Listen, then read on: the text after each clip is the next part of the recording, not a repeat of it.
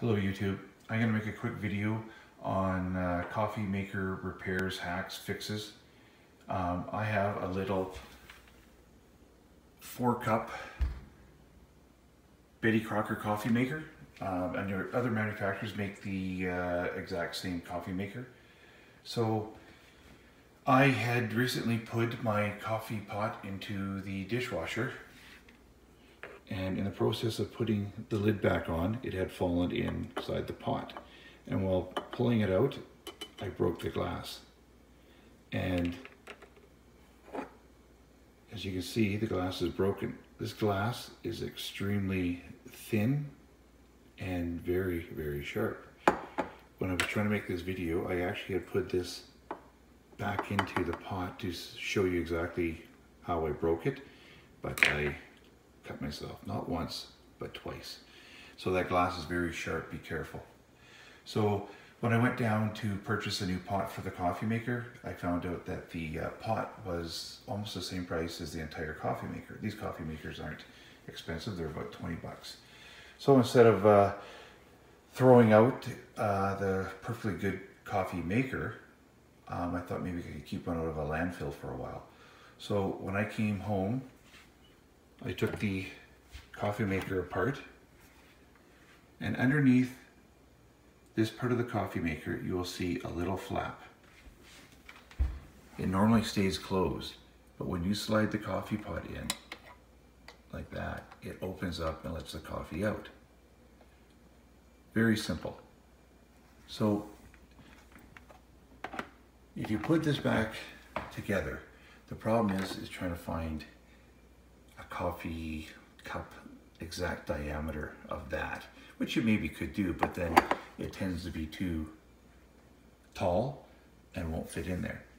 So what I had done was I came home and realized the only thing I needed to do was find a way to keep this constantly open.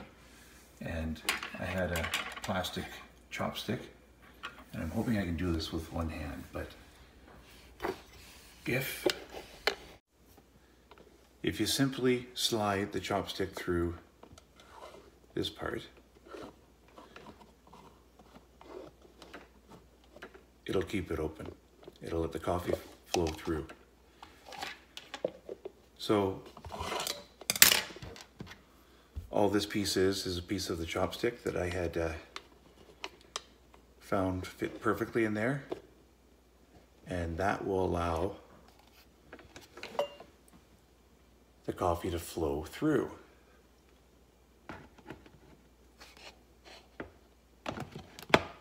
So I have different size coffee cups and uh, you probably wonder, well, how does it all work now?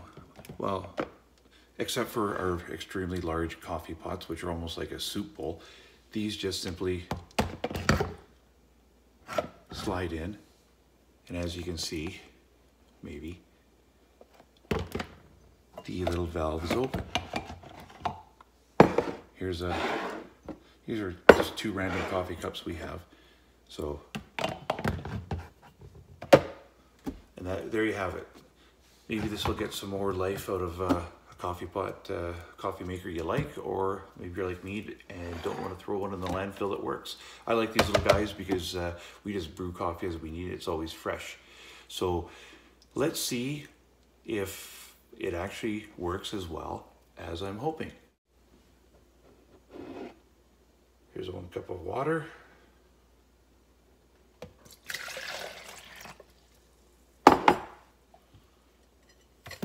A little sugar.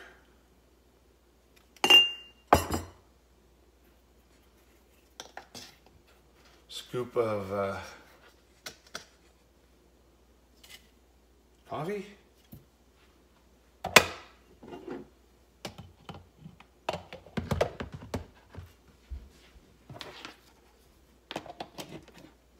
And plug her in.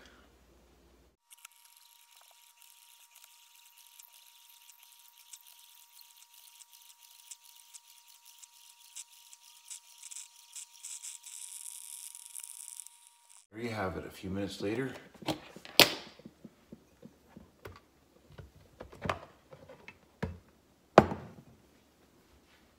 cup of coffee.